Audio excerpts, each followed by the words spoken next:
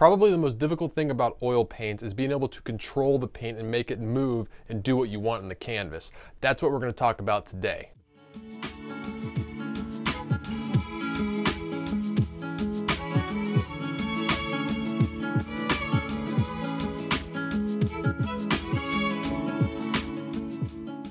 Hi, welcome to Paint Coach. I'm Chris Fornataro here to help simplify oil paint so you get better faster.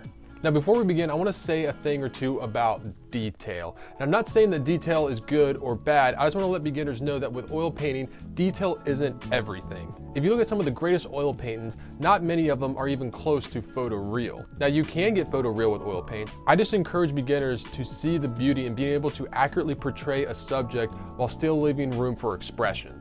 All right, let's get going. Now the first aspect of oil paints that make it difficult to control is the slow dry time. Unlike acrylics or watercolors, oil paints can stay wet on the canvas for days.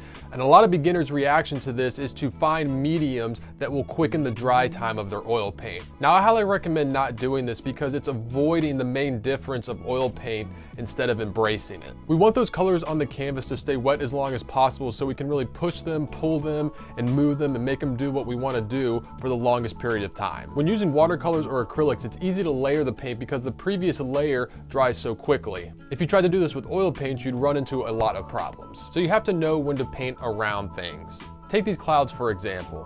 When I try to paint the sky first and layer the clouds over top of this wet sky, it doesn't work. So I paint the sky around where I want the clouds to be. That way when I go to paint the clouds, I'm painting on clean canvas and not wet paint. If you want more detailed information into this process, you can watch the full video that this clip is from right here. Now some people have the opposite problem where they try to paint around everything and separate all their colors and values instead of building them. So how do you build them? Well, first you should divide up your painting by color and value. If you can, I highly suggest getting Kevin Macpherson's book, Filling Your Paintings with Light and Color, to have more information on this concept. Its visuals really helped me develop a healthy process for breaking down a painting when I was first learning how to paint. And I think it can do the same for you. Now, if I was painting this tree in a landscape, I would first start by just painting the whole tree a dark color with thin paint. Now, yes, there are different colors and values within this tree, but I can group them all together as one to make things simple. Now, when I say thin paint, I mean thinned out with paint thinner, not medium. Since I use linseed oil, which is a slow drying medium, I don't want to lay that out first because it won't dry that quickly and I won't be able to build on top of it. Now, see, the paint thinner is going to speed the dry time, which we actually want in the beginning stages of a painting so that you can get a good foundation and build off of it. Now, as I move to the midtones, I'm going to slowly stop using the paint thinner and use more medium. But don't use too much medium, just enough to get the paint flowing. If you use too much medium, it's just going to be impossible to build over top of it. Now, by the time I'm at the highlights, I'm using just straight thick paint. If you want to dive more into this process of painting thin to thick, I've made a whole video on that which you can watch right here. Now my favorite way to describe oil paint has always been it's a process of pushing and pulling. We pushed the darks in this tree and then we started pulling back with the lights. And now if you want, you can go and push back in a little bit with the darks. Now it is best to work thin to thick and dark to light, but you still have to understand that oil paint isn't as much of a linear process as say acrylics or watercolors. There's a lot of bouncing back and forth. In previous videos, I've described oil paint as kind of like putting together a puzzle. Sometimes you need to figure out other sections of the puzzle in order to figure out the section that you're on. If you watch any of my portrait painting videos, you know this is a huge component of how I like to work. Instead, I block out the main shapes and values and use the paint almost like clay to carve out certain features.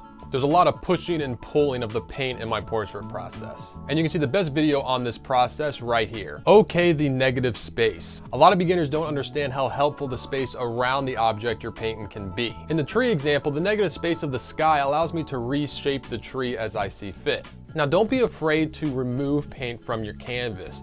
Oil paint isn't just an additive process, it's also subtractive as well. So if you get areas that are just getting too thick to rework, don't be afraid to take a palette knife or a rag or paper towel and just wipe it off and start that section over. Brush work. Choosing the right brush and use it in the right way can give you a lot more control over your painting. A great example is how powerful a good sturdy flat brush can be. Sometimes I will paint an entire painting using just this flat brush because I can make such a wide variety of strokes. Also, its straight edge allows me to get very sharp, straight lines as well. The way you hold your brush can give you a lot more control too. Very rarely do I ever hold a paintbrush like a pen or a pencil. A lot of times I'm holding it by the end of the handle so I'm far away and I'm not afraid to adjust my hand and pull the brush, you know, up or sideways, down, whichever way. When you get stuck using your brush like a pen or a pencil, it really limits your ability to make different strokes. Painting surfaces. Now there are definitely certain painting surfaces that are a lot harder to control the paint on than others. For example, those smooth gessoed painting panels are like painting on hot grease. Now there's a lot of artists that use them and do great work on them, but for beginners, I can see that being a very difficult way to control the paint. Your best bet is just good old acrylic primed canvas. Now another option is Arches oil paper. I have a link to where you can buy that on Amazon below. Now I see this paper as kind of like a good in-between from acrylics and watercolors to oils. Now it's a very absorbent paper, so the paint's not gonna sit on top of it as much, which I find a little more difficult, but I could see a beginner liking the extra control that you have with it. A lot of people don't think about this, but the size of canvas that you paint on can have a great effect on your ability to control the paint. When you have more space to spread out the paint, it makes it much easier to control because it's easier to build and push it and pull it around. For example, I struggled for a long time painting small plein air pieces because it just felt like so much paint piled onto a little canvas and I felt just in the painting process so quickly, I would find myself with this big mound of paint on this little canvas and it was so hard to keep adding and layering to it. It was so refreshing when I actually took out larger canvases to plein air paint and that way I could really spread out the paint. I had much more room to make more layers. Now I encourage everyone to try and paint bigger than they normally do. And now when I say paint bigger, that doesn't mean just get a big canvas and still paint the same way you would on a small canvas and just take more time. I want you to do the exact opposite. I want you to paint on a canvas that's twice as big as what you're normally used to, but I want you to do it in half the amount of time. This is actually a great exercise to really open you up and completely change your perspective on oil painting. And the goal of this exercise isn't to come out with a great painting. Your painting isn't gonna be the best you can do, but it's going to show you how fast you can work and really show you how the paint moves on the canvas. Just the way you're gonna physically move your body and your arm and your hand a lot more on this big canvas is gonna really shift the way you see things. And being able to start with a really big brush is gonna leave you more range to get smaller and smaller with your brushes and get more and more detail as you go. All right, to recap, what did we learn on controlling the paint today? Detail isn't everything. Embrace the slow drying time of the paint. Know when to paint around something. Know when to build the paint. Work thin to thick. Oil paint is about pushing and pulling. Don't forget about the negative space. Wipe off paint if you need to. Use the right brush in the right way. Choose a good painting surface and try painting bigger and faster. If you liked this video, please hit the like button and subscribe to the channel. If you're looking for full real-time painting video tutorials, offer those on my Patreon page, which is linked below. In the description of this video, I also have Amazon links to all the materials that I suggest for beginners. I'm Chris Fornataro here telling you to go get painting. If you enjoyed this video, please hit the subscribe button. I also offer you this video and this video. They're both great. Just pick one. Come on.